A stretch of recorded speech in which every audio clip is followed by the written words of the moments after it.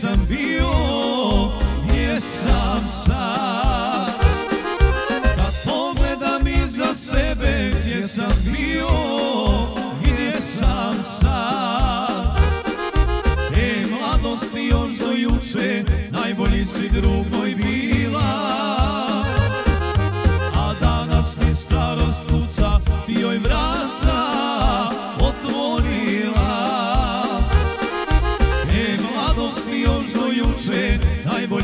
najbolji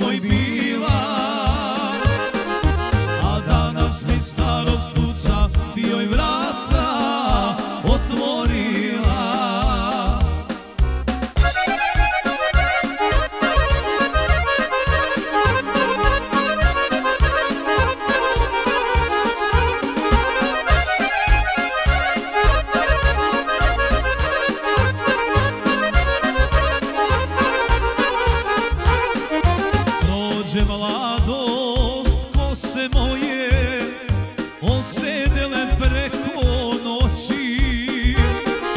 Kad pogledam ispred sebe i ovo će brzo proći. Kad pogledam ispred sebe i ovo će brzo proći. E mladosti još do juče Najbolji si drug moj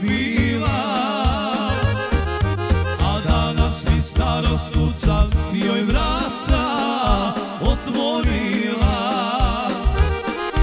E mladosti još do juče Najbolji si drug moj bila. A danas mi starost kuca Ti joj vrata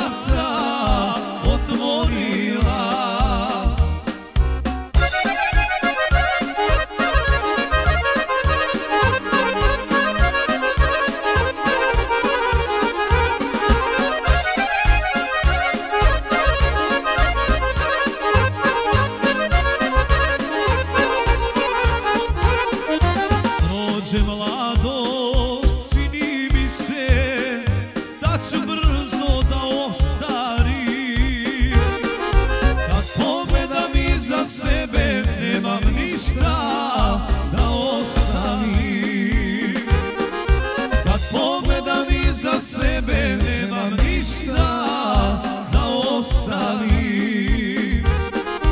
E mladosti još do juče Najbolji si drug moj bila starost kuca i joj vrata otvorila. E mladost mi još do juče najbolji si drug moj bila.